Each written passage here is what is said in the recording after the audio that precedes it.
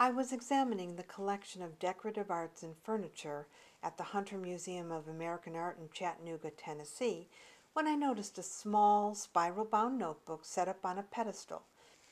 It explained to children that these were the most prized possessions of early Americans and asked them to draw a picture indicating what their most prized possessions were. I expected to see a lot of drawings like this, the skateboard, and of course the iPod. And even this drawing of a Jeep didn't really surprise me. But as I flipped further through the notebook, I was intrigued. Very few of the other drawings had anything to do with commercial items. One read, My great grandfather's watch chain. He fought in World War II, and he was in the D Day 101st jump. The chain was with him, so it is history. It is priceless.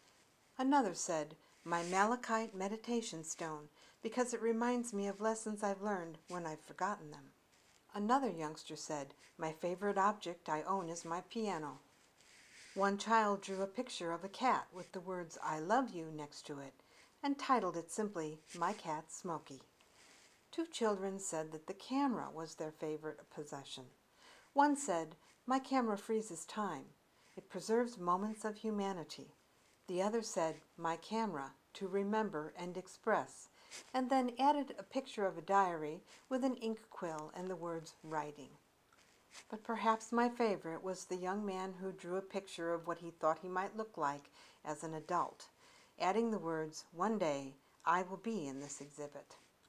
The interactive exercise was, for me, intriguing, and it restored my faith in a younger generation, which I sometimes think is much too materialistic.